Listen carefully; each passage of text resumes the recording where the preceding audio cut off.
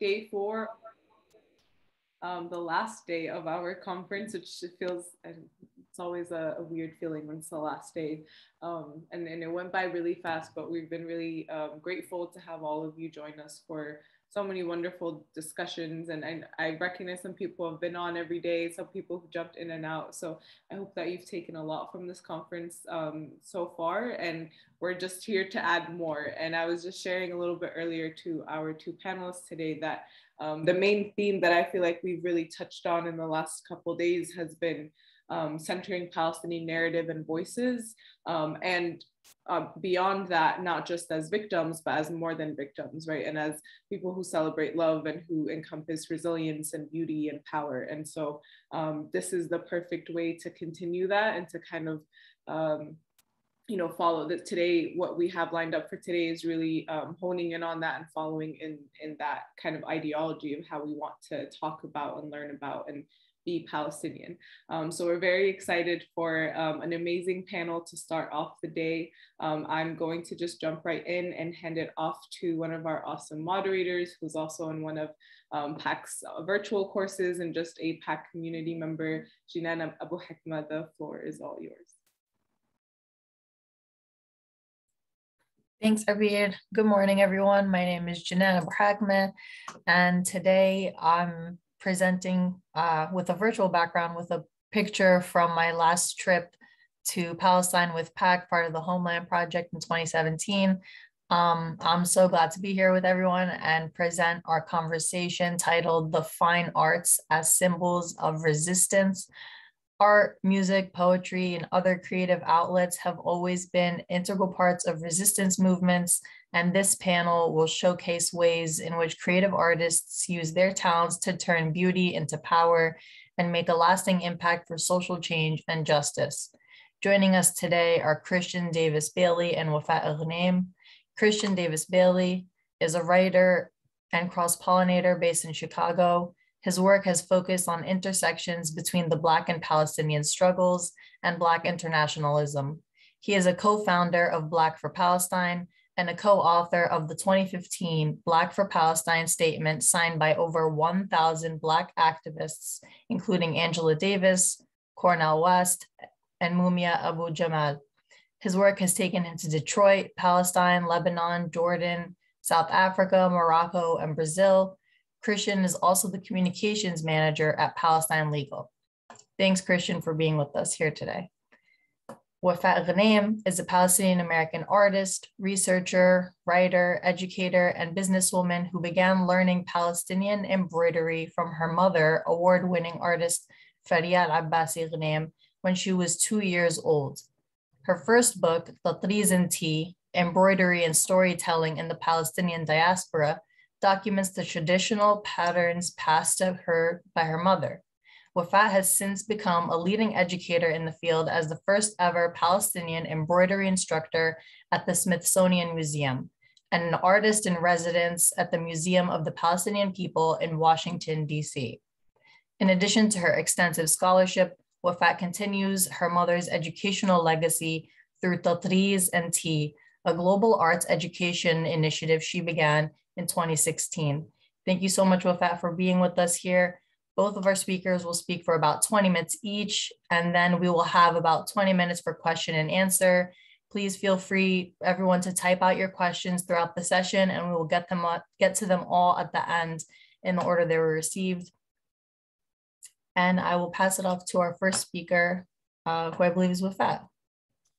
That's me. Hello and welcome everyone. Thank you for having me. I am going to share my screen.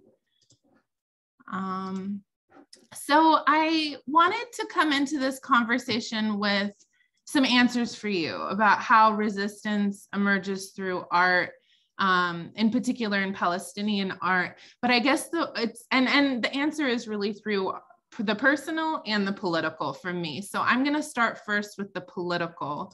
Um, and I think like the first thing that I very much appreciate about even just the title of this panel is that we're regarding textile arts as more than crafts. Normally, these this kind of art form is regarded as a craft. It's a craft, and crafts and that titling that it's a craft um, has a long history, which I talk about a lot in my classes, um, that really sort of like takes it to it's almost like secondary to an art form to fine arts.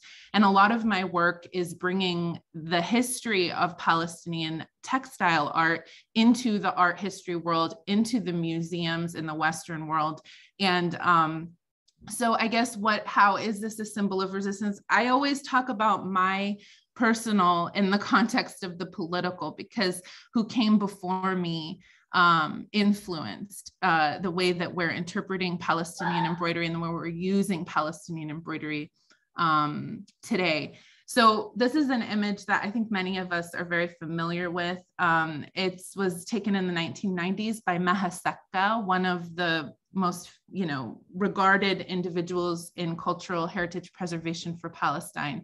And she took a great interest in um, the 1990s which if you remember at the end of the first intifada and the oslo accords uh, there was a lot of um, sort of like Palestinians were so disheartened by their own leadership and by the international community, and started to take hold more on how they wanted to preserve their own art and how they wanted to envision Palestine and Palestine as their homeland. And so Maha Saca emerges in the 1990s to really start reviving this idea of um, the different styles, the regional styles that existed in Pal- historic Palestine before 1948, specifically between 1850 and 1948.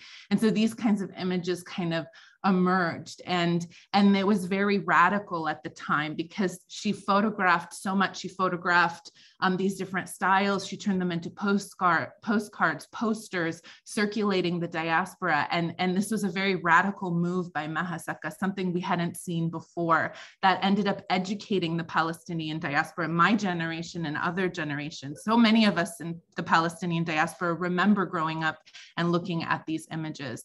And the, the truth is is after 1948, um, there was quite a bit of a blackout period in Palestinian embroidery, Palestinian textile production. Palestinians were no longer able to access their beautiful fabrics, um, their beautiful threads, and they were subjugated to living conditions that didn't allow for them to produce beautiful uh, celebratory dresses any longer. But yet, still, how did Palestinian embroidery survive? This is an image actually from a refugee camp in the 1950s, one of the very few images we have during this time period where we see Palestinian embroidery appear. And you're seeing styles from all various villages. So, how, how did this art form survive? And one way that I like to kind of explain this in the context of like, how did this, because uh, listen, Palestinians, we have done a remarkable job preserving our art forms. We have done a remarkable job like preserving our traditional costuming, our textiles, our embroidery, our motifs, and our techniques. How did we do that? Because if you look at other areas, like if you look at Syria, if you look at Lebanon and Jordan, we Palestinians have become very famous. Like it's very amazing how we have, against all odds, preserved this art form. And actually, I believe that Palestinians produced a really crucial framework um, for cultural preservation for all cultures around the world, regardless of whether or not they're under occupation or in war, and that we have provided a very valuable, um, like, sort of case study of how textile preservation can survive, can survive these eras of war and occupation and so forth. But I love to start and look at like what are the ways that we have preserved this cooperatives, collectives have been going on in historic Palestine. This is in the 1930s under the British mandate, preserving our textile tradition. So this goes beyond just embroidery. We're now talking about weaving, we're talking about spinning, sewing. We have boys learning how to weave and spin their own threads and fabrics. These are very traditional formats. Even after 1948, we have images in the 1960s, 1970s of women coming together um, primarily women post 1948 coming together and doing stitching circles and stitching and doing what they can to kind of keep this art form moving, even though the format of the embroidery changed and the materials and our ability to access our traditional uh, materials changed as well many images circulate online now that show us embroidering in refugee camps and all across the diaspora. And most remarkably, and I guess the main thing I wanted to focus on in the question of the political is the first intifada. And um, the reason that I want to focus specifically on this particular event is because after 1948, we have like a couple decades of real blackout period. We don't have a lot of information on how Palestinian embroidery was practiced, what was happening. And then suddenly we see an emergence in the refugee camps where women are like are working through associations such as Inaash and others to produce embroidery for sale and to use it as a way to um, supplement their income or as a primary source of income. And Inaash is very innovative, like very contemporary. We see by the 1960s and 70s, we're seeing neon colors, bright color fabrics, just very contemporary iterations. Um, First Intifada, 1987, um, we start to see first of all, as we all know, the first intifada emerged due to increased home demolitions, violence against Palestinian children, um, stricter curfews, cruel treatment of civilians by the Israeli military, and the international community turning a blind eye.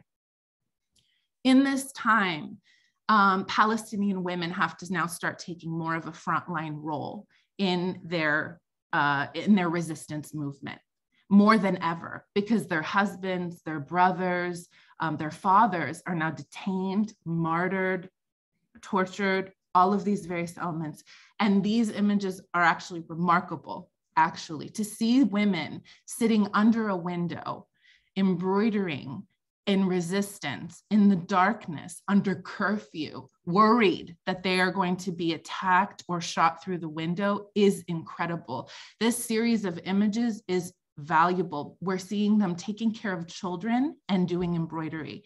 And what emerges from the first intifada is a series of beautiful dresses that we've never seen before in the history of Palestinian embroidery. We see the flag dresses, the first intifada dresses. They're the most well-known resistance dresses we have through our Palestinian embroidery. It's the first time we see architecture in our embroidery. It's the first time we see calligraphy in our embroidery. It's the first time we see human forms in our embroidery, rock throwers, and various other elements. We see traditional motifs being adapted into nationalistic ones.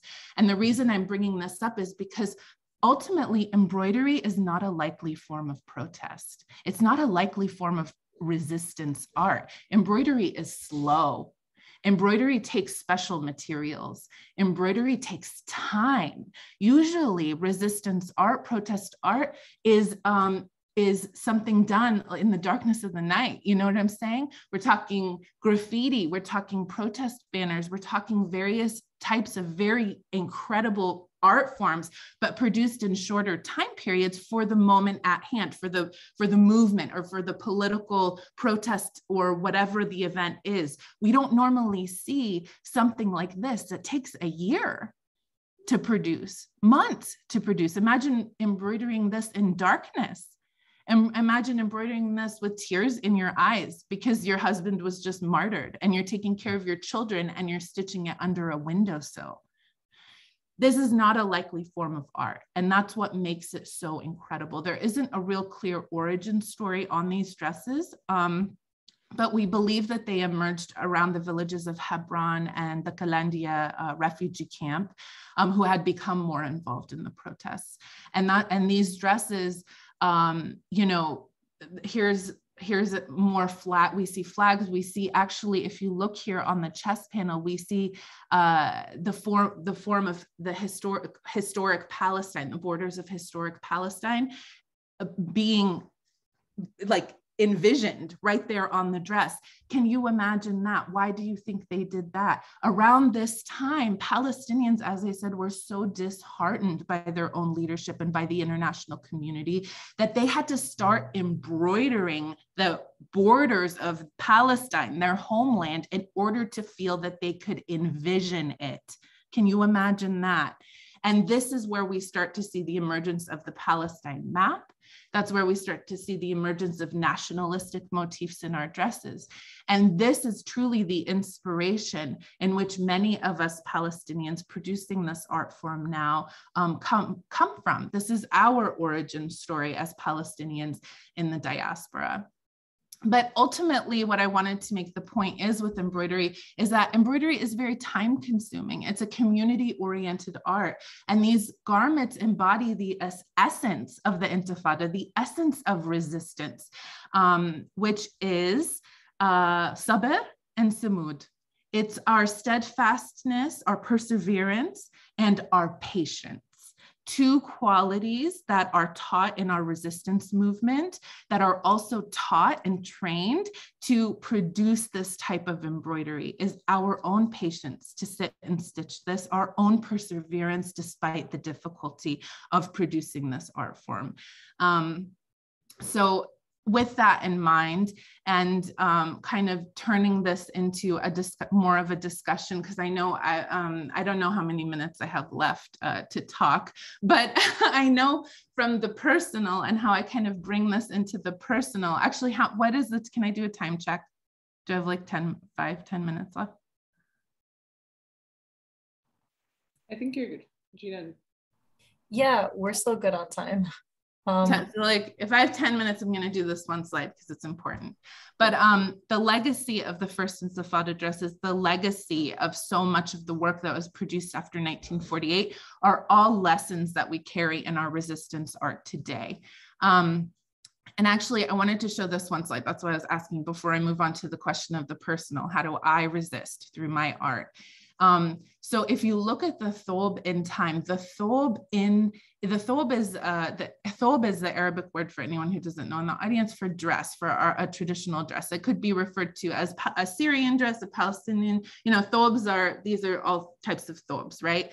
Um, the thob in Palestine, in and of itself, the essence of it, and the fact that it even still exists, in and of itself, is the resistance, is the radical element to this work um, if you, I, I, mean, we are able to look at like the Thob and how it appeared in this region in centuries ago. I mean, here's one from the Kedisha Valley mummies of the 13th century. We have pieces in um, museums that are, you know, 19th century, 20th century. We have here on the second row, uh, mid 20th century dress here on the bottom um, left that was originally produced in Ramallah in the 1920s but, and 30s, but was then sold in the refugee camps or gifted and then adapted in the refugee camps for a woman much taller using UNRWA flour sacks in the, in the torso.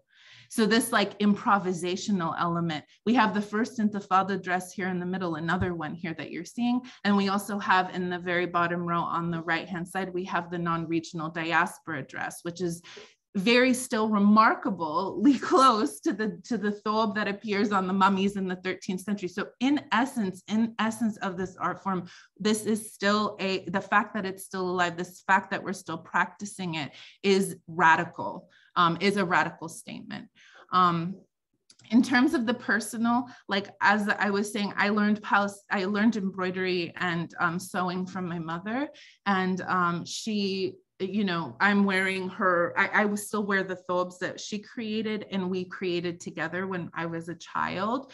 And my mother has, in large part, um, when she first immigrated into the United States, she she started teaching Palestinian embroidery and practicing Palestinian embroidery in like a um, public way. Like she was uh, doing demonstrations and folk festivals and things like that, and bringing me and my sisters with her to sit with her um, from a very young age. This is me at looking like a deer caught in headlights when I was two, but um, but I'm there. I was actually doing embroidery. There's images of me doing embroidery at two years old. And in that wheat harvest dress, actually, you see that one. That's the one I'm wearing here on the right. Um, so I grew up with embroidery not it's sort of it was it was like at two years old you know i don't know if any of you have a two year old but at that time you're teaching them how to use silverware you're teaching them how to get a shirt on your head which is actually really hard to explain. You're teaching them all these survival techniques and my mother taught me embroidery at this time so i really don't know life without embroidery. This is me at one of the demonstrations But what I did learn throughout these folk festivals and kind of how I started to view embroidery at this age is that I was an outsider, that, you know, these festivals was predominantly attended by you know white america. And when they would come they would come to touch our hair and to look and touch our embroidery and to ask us questions about our ethnic uh, exoticism. Like it, it was like we were just on view you know? And um i learned at a very young age like what it meant like to be palestinian in this country and um, you know, what I needed to do to kind of self preserve, not just preserve the art form. But um, now, and I'm just in the last couple of slides just saying, like, you know, I went from really like serving, and I still am like an assistant to my mother in her work, but now my work primarily focuses on identifying dresses you know, I do produce embroidery and I do teach classes to produce embroidery, but my greatest interest is in actually properly identifying the dresses the Palestinian dresses that are in Western museums that have been sitting in those collections for a hundred years and have not been identified as Palestinian, and they're wrongly identified, or they are just sitting there collecting dust. These dresses are in exile, much like we are. Somebody wore these dresses. Somebody lived day to day wearing these dresses. They were known for these dresses. Their children looked at them wearing those dresses. Now they're remembered by their children for wearing that dress, and now it sits at the Metropolitan Metropolitan Museum of Art without a name, without a face. And Edward Said once said, um, I always remember this quote that exile is a series of portraits without names. And, and I look at these dresses like portraits. And um, these are portraits of people that need names and i might not always know who wore this dress but i do, i can t- I can tell quite a bit. I can identify the time period the village the materials. There is so much i can tell in the story of the dress um, in a factual way. And um, this is really my work. Um, this is my work at the metropolitan museum of art. It's in my work at the museum of the palestinian people. And hopefully as i continue to teach at the smithsonian and i'm still allowed to teach there because I'm getting to be quite radical in my statements. Um, so crossing my fingers, but um, but you know, I'm going to continue to tell this story unapologetically. And kind of one final thought, you know, before I pass on the mic.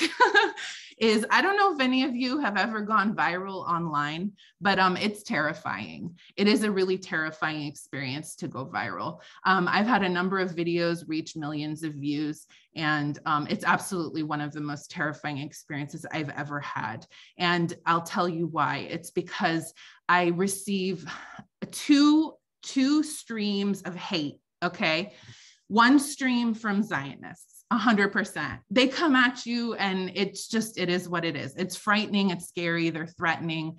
But then you get a whole other stream from Palestinians and and i guess i appreciate you know i want to say like very clearly i receive report, support from the palestinian community i love my community but the most criticism and outcasting that i experience is not with zionists it's with my own community and so i want to stand up and kind of say that i really look forward to the day that we can in our own community practice this idea of solidarity and inclusivity and acceptance and tolerance much like we want and demand and are fighting for with the rest of the world. We must also find that within our own community and accept that we each have a different connection to our art form. We accept that we have a different connection to our tradition and accept that we each have a different approach and identity as diaspora palestinians and that that's okay and then that's what we're going to bring back when we return to Palestine is all of these different views in the diaspora that are all equally valid. And for us to find that cohesion so we can fight together.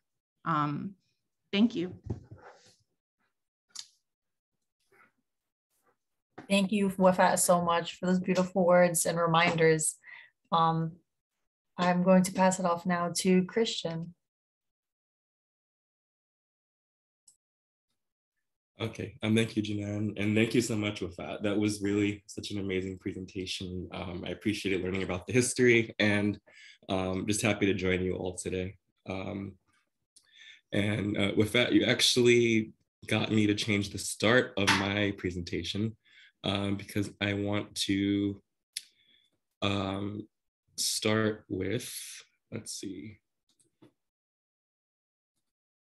Just one moment.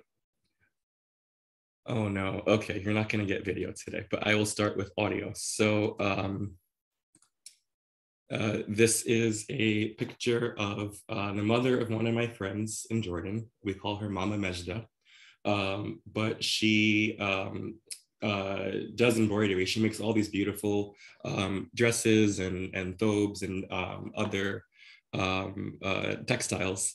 Um, and she sells them to folks in Jordan and uses the profit to benefit um, women in uh, the refugee camps in, in Jordan. So that's a form of both resistance and solidarity and like moving culture forward. Um, and some of you may know the uh, Palestinian artist Suhail Khatib. Um, uh, but the, the person I just showed you is uh, the mother of Suhail. Um, so this is a family that's very deep and rich in um, just using art as a form of resistance. Um, so I would like to, uh, one second here.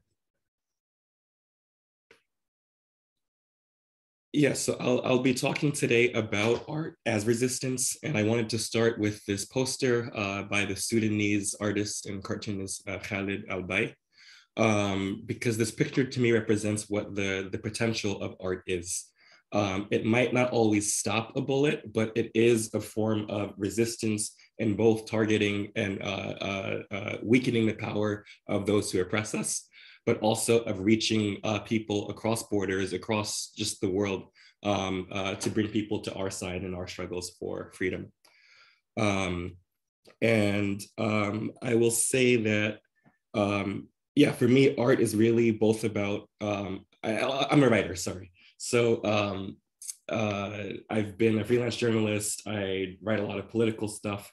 and for me, even when it's not necessarily creative writing, um, it, it's still a form of art because it involves like being intentional about how you arrange narratives, uh, how you craft a story. Uh, but I also see journalism, particularly when it's doing its job, um, as being resistance in the form of speaking truth to power. Um, does journalism always do that? I would say no. Um, but to, um, uh, second. Um, so I, I started out as a journalist for a campus newspaper in college about 10 years ago and um, was really interested in going to journalism kind of as a career. But um, once I started learning about, you know, what was happening in Palestine, um, this was around the time that Trayvon Martin was killed, uh, before the Black Lives Matter movement started, um, and during the time of the Ferguson uprising, um, I really began to see just how limited most of our media is in terms of actually um, talking about systems of oppression or injustice. Um, and so for me, just looking at this Malcolm X quote, um, I realized that a lot of the times media uh, inverts the situation. So it has us hating the people who are being oppressed and loving the people who are doing the oppressing. Um, and so um, through the seeing all of these different social movements, it kind of pushed me into a different form of writing um, which was a lot more like direct and po directly political. Um, and the main way that this came out was in um, working on a solidarity statement of Black activists, artists, scholars, and students in support of Palestine um, in the, the wake of um, the 2014 war in Gaza and the uprising in Ferguson. Um, and I had a video to show you, but I need to restart my computer to get the audio settings to work. Um, but um, I'll try to put a link to this.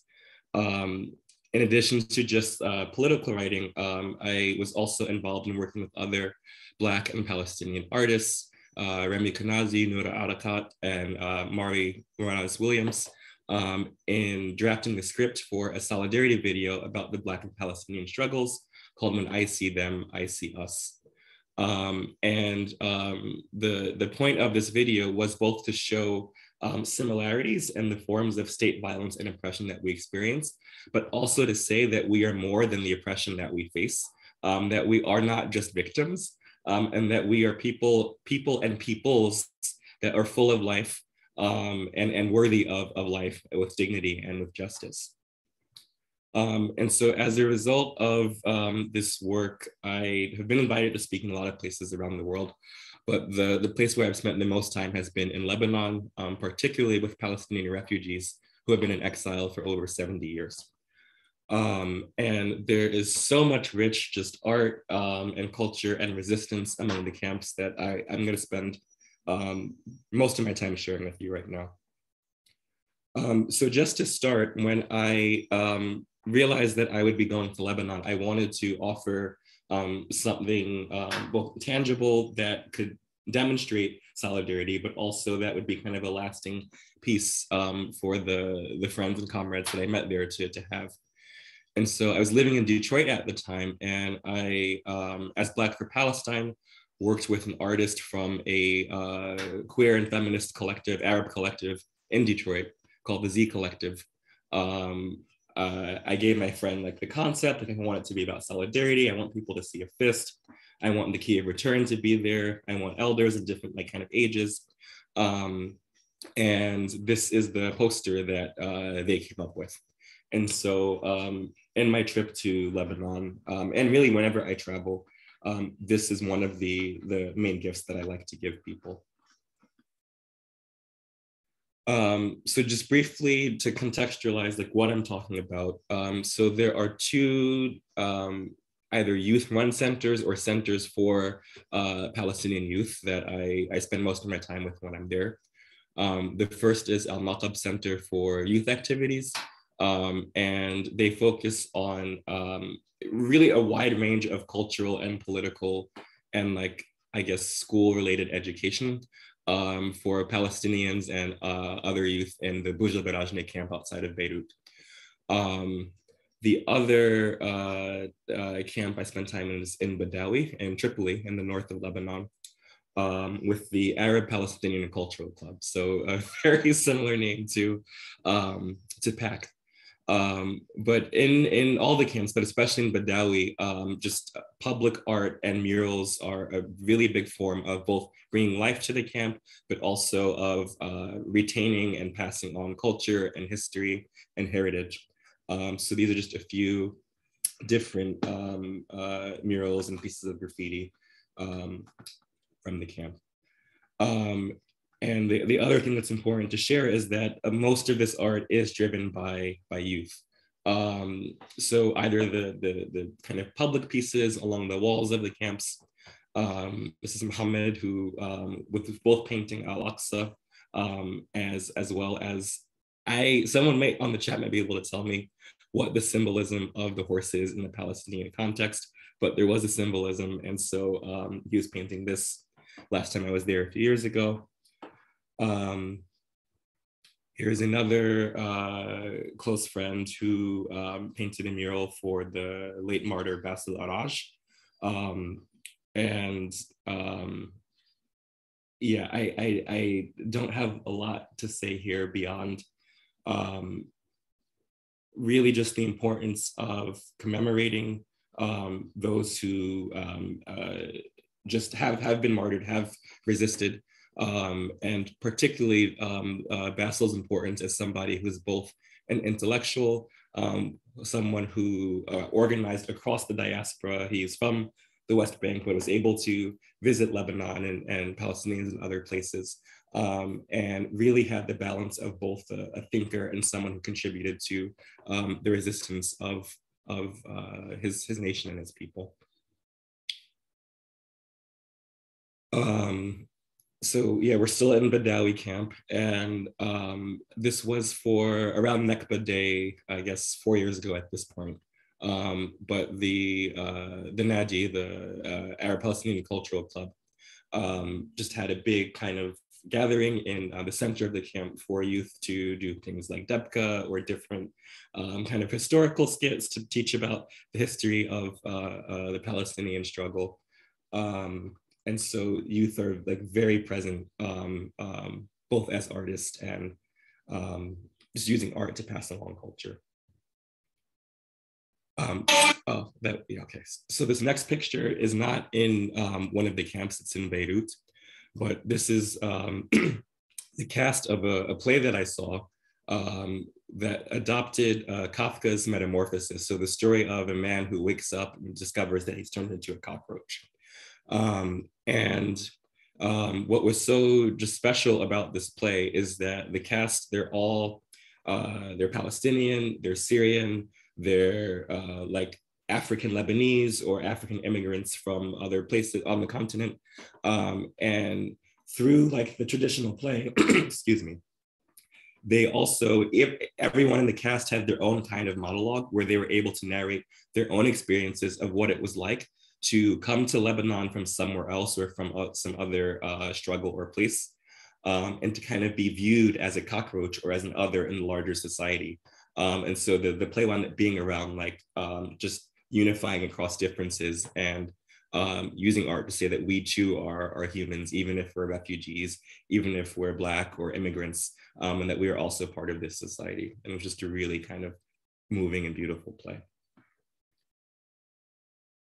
Um, so I want to spend a little bit of time talking about the impact of art across borders and struggles. Um, and what I want to start with is, let's see. Um, so I don't know how many of you have heard of the um, uh, graphic novel Baddawi uh, by Leila, Leila Abdelrazaq.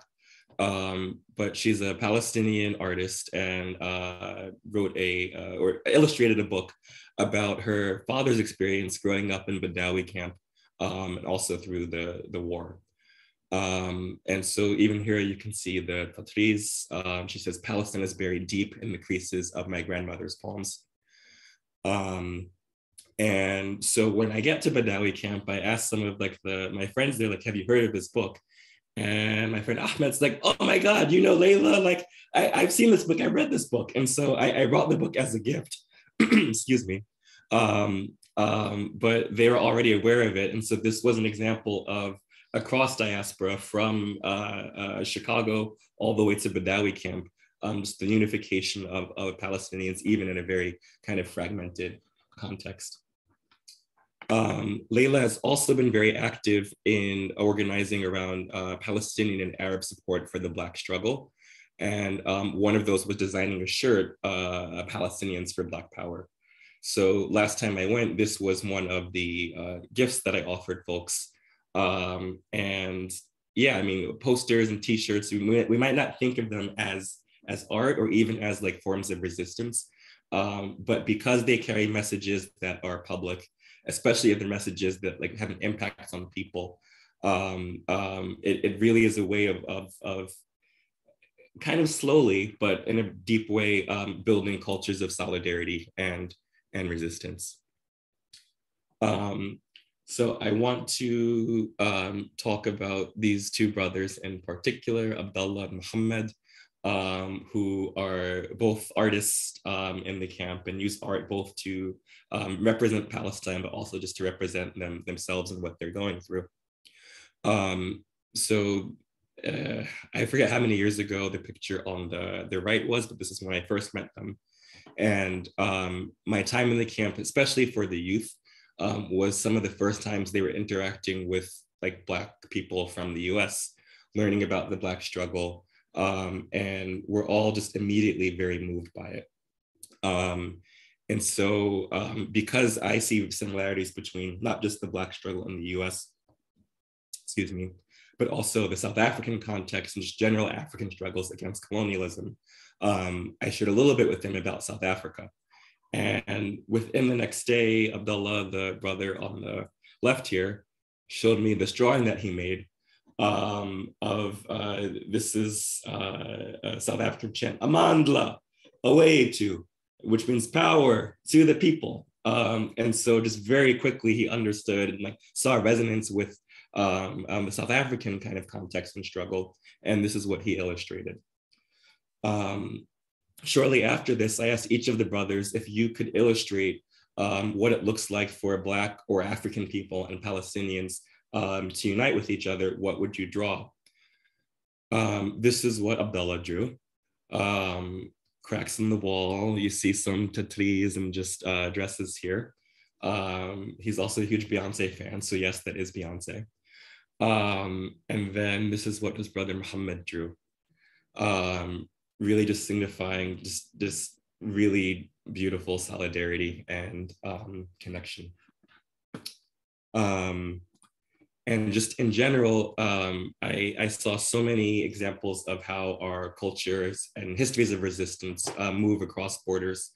Um, this picture in the back is of Comrade George Jackson, um, who was one of the foremost Black revolutionaries and intellectuals um, of the kind of Black Panther, Black Power era. Um, uh, someone had visited uh, the, the equivalent, the PCC um, in uh, Beirut and left this picture um, of George Jackson, who I was very surprised to see. Um, but less surprising was like examples of just art and resistance and Ghassan Kanafani, um, Che, and just other using art again to represent the the, the figures of um, resistance and, and, and political liberation around the world. Um, um, yeah, and so um, again, this poster, so I'll start with the picture on the, the right. Um, this is the guy I get my SIM card from every time I go to Lebanon, like inside his, his cell phone shop by Hamra Street. Um, I gave this poster to him in like 2016. And my last time there in 2019, I walked into the shop and he didn't recognize my face. He said, You don't remember me? And I pointed to the poster and he was like, Oh my God, it's you. Like, like I, yeah. And like, here it is. Like, it's been here this whole time. And um, um, really just appreciating um, kind of the, the gesture and the symbolism of solidarity. Um, and this picture on the left is um, just of the, the parents of um, one of my friends in Lebanon who are Palestinian, who lived through just multiple generations of war and resistance and revolution. Neither of whom spoke very much English, so we and my my Arabic is not that great, so um, we weren't always able to fully communicate. Um, but we did play a lot of cards. Uh, hand is what um, uh, she taught me and um, these posters also they they understood kind of um, the message behind them and um, so i i close or move towards closing in a moment um, but um, just yeah i want to share that um, the, the reason that i view art as just such an important part of our society and our political um, movements and struggles for freedom is because I think more than anything, art has the power to um, to touch people in a very deep way in their hearts, um, to shift how they think. excuse me, and um, really to bring people together across uh, borders, across languages, across cultures, um, uh, because it, it's just kind of art has always been a, a, a, root of the human experience. It's, it's one of the, the joys and privileges of um, being alive.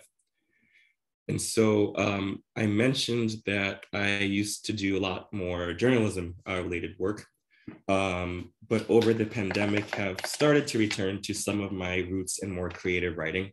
Um, it's actually what I love to do. It's what I want to do kind of um, lifelong um, uh, because the, the, the political stuff is very important.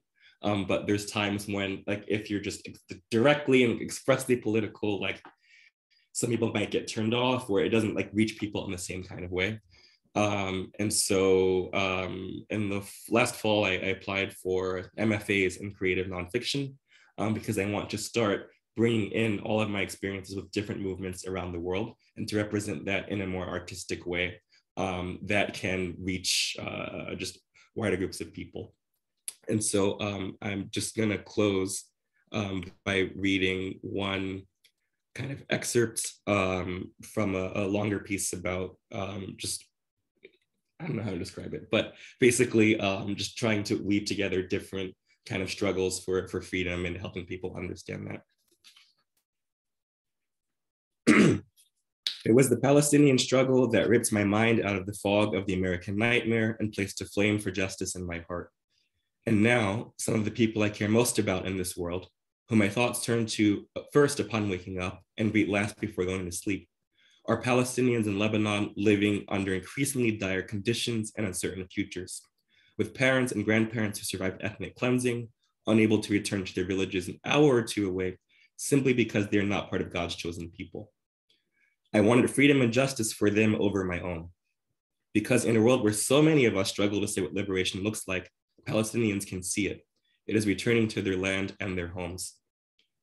I think of my younger brother, my younger big brother in the camp, Karim, at once a jokester, a jock, and an artist with a sensitive heart, and his five year old sister, who sent me into uncontrollable sobs at the end of my last trip when she ran into the street with her gap toothed smile singing, Bye, Kristian! And I realized that she'd still be stuck in the camp whenever I finally returned. I think of Jenna and her mom, whose loving home cooked lunch sent me running to the bathroom to hide yet another set of ugly tears when I realized three generations of women had to make their meals in a modest corner of the camp after the matriarch survived and fled the massacre in Tantura as a child. And then there's Akram, a man with one of the gentlest spirits I've encountered. The circles under his eyes grow deeper with each subsequent visit, ever more stressed by the already fragile and barren economy shattering around him. And I think of Dina, who hadn't seen her son for a decade after he fled to Europe, seeking asylum from a crowded camp and stagnant life I wouldn't even wish on those who displaced his people. Um, yeah, so that it goes on a little bit more, but um, just to say that I will be continuing my kind of journey as an artist, um, moving to the New York area at the end of the year for an MFA uh, from NYU. So, um, and this is one of the pieces I submitted for that program. Um, so I'm really excited just to bring a lot more of, of uh, Palestine and freedom struggles into my art. And thank you all for your time. Thank you so much, Kristian, and congratulations. Uh, I think the PAC community would love to have you closer to us. We're over in New Jersey. Um, I, am so grateful you were able to share with us uh, excerpt of your creative work. Um, and my favorite part from your presentation was the um, the picture of the pencils versus bullets because I think that speaks for all art forms that we talked about today. That we can really use that all as a tool to be more to show more and resist in the face of the oppression that we face. Um, thank you so much, Wafa and Kristian. Uh, I think we're going to kick off the question and answers. Um, first, I do have a question for Kristian. Um, basically after everything we talked about, if there was one thing you hope that everyone in the audience today would do as a result of our conversation, what would that be?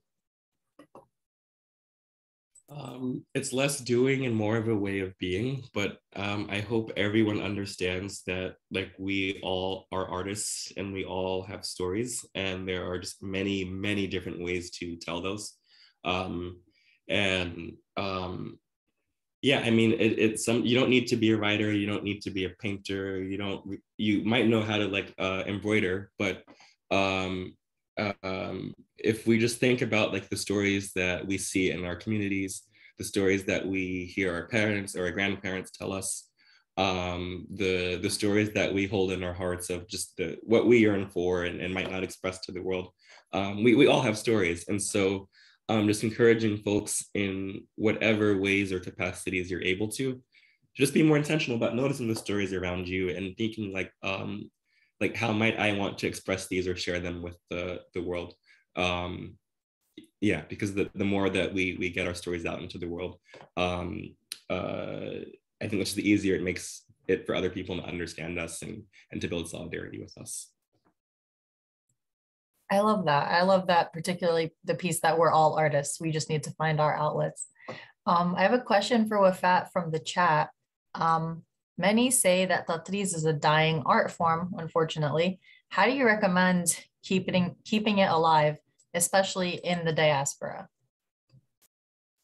Yeah, I mean, that's it's funny because actually what I tend to hear is that it's I'm making, you know, people are making it too trendy by like putting it online but um, yeah, I agree. It is endangered. And um, I guess I think the main thing that I try to encourage students like that take my classes is to find their personal connection. They're not, they don't have to embroider a thobe. They don't have to embroider at all.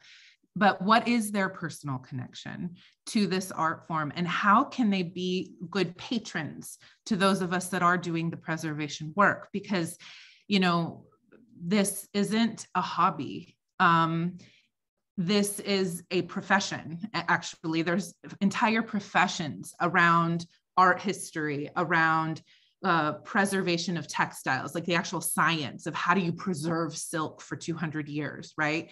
So who are those players in in that are working towards this? Because it, it can't just be women who are doing this as a hobby or as something extra because they're doing uh, you know like a lot of people in our in the field of palestinian embroidery there's only a few of us but many of them have professions and they're doing this on the side. But i'm really fighting for this to be a profession like a place where not only those of us who have privilege economic privilege can do this and so how do you patron become a good patron to those people that are doing that work like Tiraz Center, like um, you know, Palestine Heritage Foundation, like Textile Research Center and Leiden University, um, like Dr. and T, you know, who are those people and how do you, you know, do that? And then in terms of knowledge, like it's out there, like I'm teaching classes every day. I mean, to the point I need a break. There are ways to, you know, study you know just become a good student to this art form. That's ultimately the best way to preserve it is to accept that we're all students to this art form and that continuing to learn about it is sometimes all that you need to do. That's amazing. Yeah there's there are classes offered at pac as well for anyone who doesn't know. Um well, if I, I have another question for you, it's a personal question. What could you share with us what your favorite Tatreez design or story is? Oh, that's so hard. Um, I guess my favorite um like symbolism is in there it's really impossible, but one of my favorites is one that I actually have a chapter on in my book. It's called the Cleopatra design. And the reason I love it, basically, it's for anyone who hasn't seen it, it basically is a, um, a panel that has like a high heel and it has a mask like with jewel like bejeweled mask and it has uh, her crown and it has this ring that she had poison in when she drank you know before she got captured. Um, and i love the story of cleopatra being in our embroidery because it brings us back into like this ancient origination of of you know this history. But then at the same time um, you know cleopatra you know like she she ruled uh, like she, she's not she's not palestinian. So it's just kind of amazing that um, there was such an appreciation by palestinians for cleopatra that, that she would make her way into our art um, and into our embroidery. Um, but then i also you know i shared the first intifada. I think the dresses that came out of the first intifada are amazing because we also have in there rock throwers which is one of my favorite pattern to stitch with the you know mansley and you know and he's got a kofia on it so it's just like that's the ultimate power right there. Um so I, I definitely those are my top two i'd say. Thank you so much for sharing that. Um and i do have a question for both of our panelists kristian and wafa um, what advice do you have for people who are just starting to find their voice and develop their talents as resistance artists?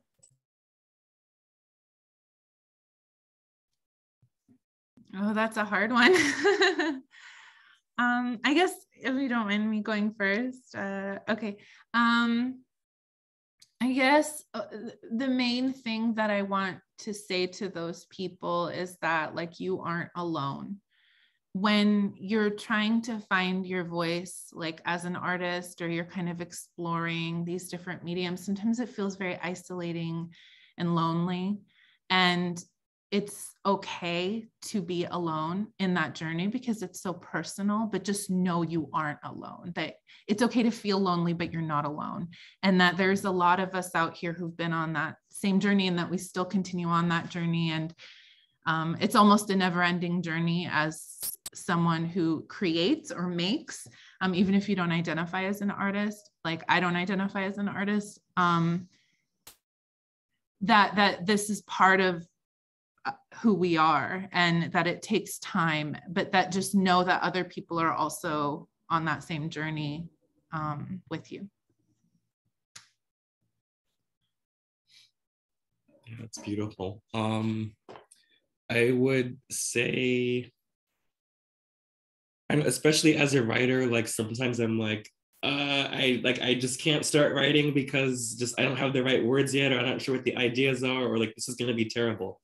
Um, and really, that's like the opposite. Just you shouldn't think about any type of art in that way. Like the first draft is always gonna be like it's not gonna. It might not be your final kind of product, um, but it will help you figure out like what works and what doesn't, or what you want to change, or where you need support and like developing something. Um, so really, just encouraging you to just get out whatever it is you need to get out. And especially for like the when you're starting out or for the first draft or something it might even be helpful to think of this as okay i'm not sharing this with anybody but just for me and myself like what needs to get on the page or what needs to get out in the world. Um, and once you give yourself permission to share that at least with yourself you can then kind of figure out okay so what do i want to give to my broader communities or to to the world um, but also drawing on what Wafa said, um, community is really important. I am only just getting to a point where um, like my friends who are also artists are starting to either like sit together every now and then and just do work at the same time. Um, or I have a Palestinian friend in London who is also a writer and just wanted an accountability buddy. And so over the last month, we've just said, okay, like we'll send each other whatever we have. Doesn't matter if it's like not well written or scattered but just we need to get it out. We need some feedback. Um and we've only had one meeting but it's been like so inspiring just to have someone else who is struggling with similar issues or themes and like can give you feedback and help you kind of flesh things out. So just encouraging folks to like build community with um, other artists That's all really wonderful advice. Thank you um, for reminding us, I guess, with how it can be isolating, but we're not alone. And to Kristian's point, how important it is to find our community uh, as emerging artists. Thank you, Wafa, you sharing a link for an upcoming class. Definitely check that out. Um, do we have any more questions? Abiyat, I see you have your hand up. Yeah, I have a question. I'm sorry, it's like kind of too long and I'm still trying to figure it out to put it in the chat. But it's a question that, and like Rania and I have been talking about this a lot and, and I wanted to just hear your thoughts on it. But um, a lot of times like in very like revolutionary spaces or like social justice liberatory spaces, especially when talking about Palestine, a lot of the resistance is seen as like like the the quote important resistance right is like the frontline resistance the you know the protests and, and then like art healing conversations are often on the side. Like they're not seen as like they're not important, but they're also not very integrated throughout like the whole process it's just something like oh if you need a break you can do that and and i've been in certain spaces where a lot of the people who usually do that work are like no we're tired of just being your like when we need a break we go there and that it actually should be integrated throughout the whole process and like the road of revolution and, and liberation. So I was just kind of wondering your thoughts of like how do we yeah what are i guess if if you have any thoughts or like ways to mitigate that and ways to make it not just something that's on the side but something that's integrated throughout all of our conversations yeah i mean i guess I think the premise that art is healing is true, but also um, what I, you know, I think going back to education, like how do you fight, for instance, the appropriation of arts and culture? Like, what is the way that you do that? Think about it. Education and how, and, and so arts activism is also arts education activism where they're you're developing like a visual literacy even media literacy amongst people so that they can identify what is actually appropriation and what's not. And fighting cultural appropriation appropriation of art as well is um is part of this resistance right? So i guess it is a form of healing but then i think part of it is a perspective of like you know how do you strengthen your activism? Well well i mean definitely threading a, a needle alone isn't going to do the job but the education that comes with threading that needle or without i do lectures and you know all that like even just the origination story of the kufiyya as a national symbol you know of resistance and like why it's so um, you know why it's so offensive when we see people wearing it out you know outside of the the it, divorcing it from its original context uh, so i think education is a big part of it and that's why i think arts education has to be part of the discussion around arts and arts as a resistance um trying to formulate my answer here but mm-hmm. i i i i think mo- a lot of I don't want to gen- overgeneralize, but in general, I think a lot of social movements kind of put art on one side and like politics on another, or even like your question about healing. Like we don't have time to talk about like healing because like we're in the middle of a struggle, but they they all actually kind of influence and help each other.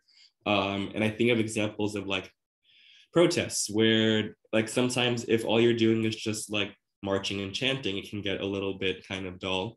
Um, but sometimes somebody comes in with like a set of drums. Like I've seen this both at Black Lives Matter protests and Palestine protests. Um, but like when you get a little bit of music to it, it kind of like adds just a energy to the the space that both then amplifies kind of the the sense of unity with the political struggle struggling people around you. Um, and that's just one example of like where it's very kind of easy to blend art and politics um, but another example, um, so I spent some time in South Africa and um, there's a very, very, very rich history of just like revolutionary songs and singing.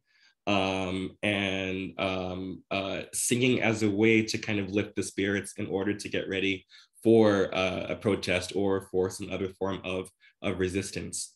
Um, and it's something that like, I don't know how to describe it. It's just you're in a room with like 50 people and like someone just starts a tune and like two other people pick it up and then suddenly the whole room is like in harmony and they know all the words and like they're dancing and like people are just getting really into it and um um yeah it's just it, it's a very kind of critical um uh way of just rejuvenating the the spirit in order to um, uh, have the endurance for the long term political work yeah, and I guess to add to that too is, you know, because, you know, when you're talking about music, it is a different kind of thing because it it gives you voice. It gives you a voice. And and then when you're all singing together it's a collective voice you're hearing not you hear your own. And when you listen close you hear individuals but when you listen all together you hear everyone. And there's something really powerful about that in the in the literal sense of elevating your voice and amplifying your voice. Well how do you amplify your voice?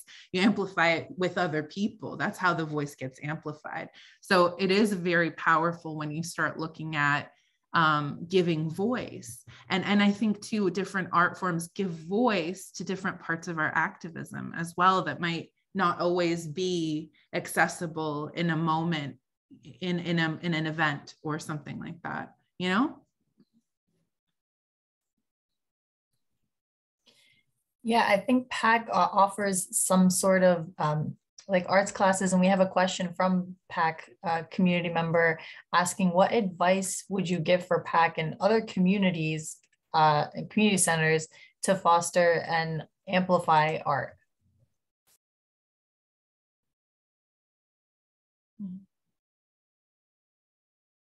Sorry, can you repeat the last part? Advice to who? Oh, uh, advice for PAC and other communities to foster and amplify art.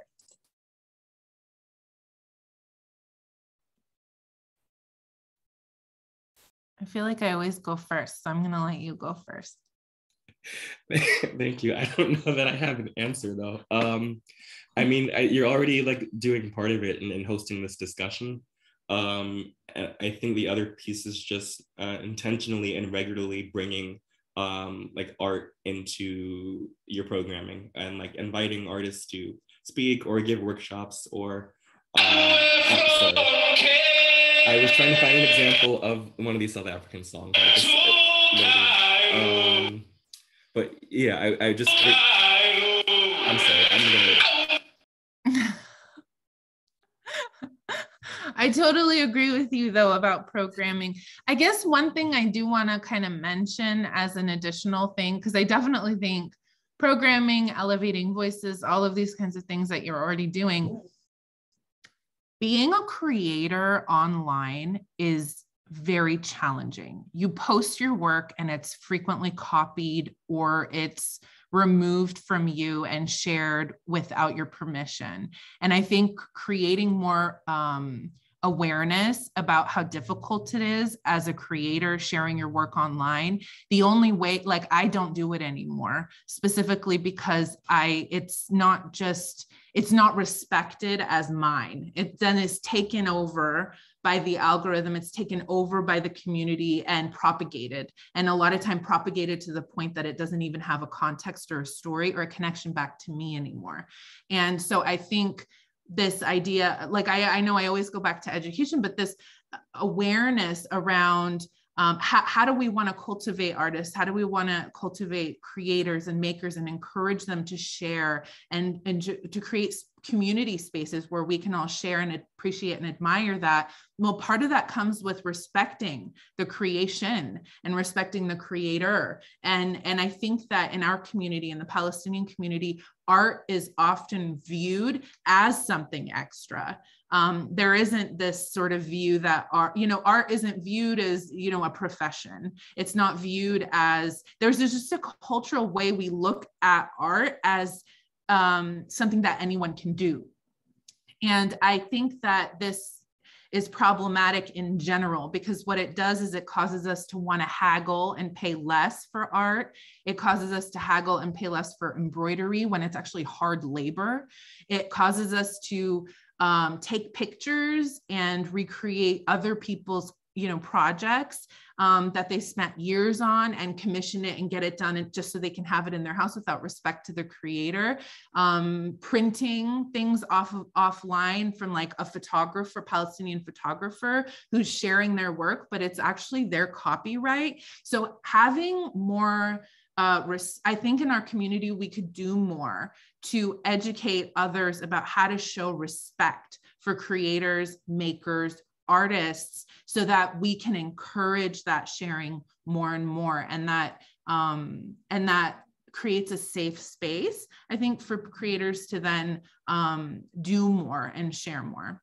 Um, i feel very strongly about that actually. Yeah.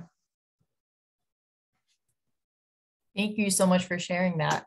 And i want to thank again Wafa and Kristian for being with us today being with us here today. And thank you for everyone who tuned in for your attention during this session. Uh, and I also want to thank the Palestinian Christian Alliance for Peace, or PCAP, for being a sponsor for our conference today. Uh, PCAP works to educate Christian churches, organizations, and individuals about what's happening in Palestine and encourages and supports their advocacy for Palestinian rights in the US and beyond. They represent a Palestinian Christian voice in US Christian circles. They also work to theologically counter Christian Zionism. They are actively recruiting new Palestinian, Arab, and other allied volunteers and committee members. Please consider supporting their work and joining them.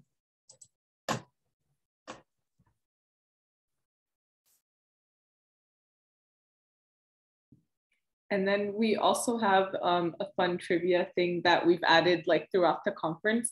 Um, so uh, what not, we're gonna put a link in the chat right now. Um, there's if you want to win one of our awesome shirts. And speaking of artists and giving credit to artists, we have an amazing graphic designer. She's actually on the right of the photo, Fadiel Aga, who created all of our graphics, our booklet, and um, use designs to make shirts that say "Until Freedom" like the conference theme. So if you want a chance to win a free one, um, answer the question, the trivia question. Um, the link is in the chat. And then um, if you're the first to answer it correctly, we'll send you a shirt. If you just want to support PAC and buy one of the shirts, if you really enjoyed the conference, it's also available on our bonfire website, which we can also put the link to.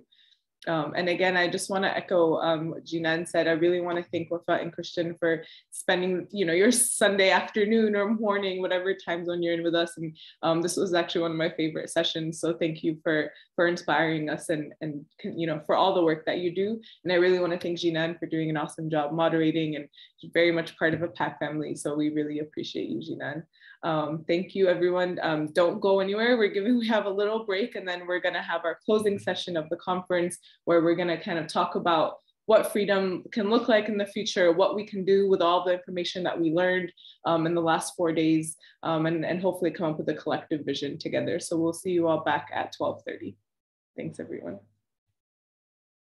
Thank you.